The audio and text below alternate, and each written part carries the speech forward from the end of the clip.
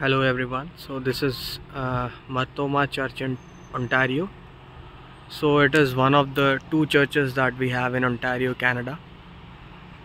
And it's a church with around 500 members families. And all the nearby area is under church property.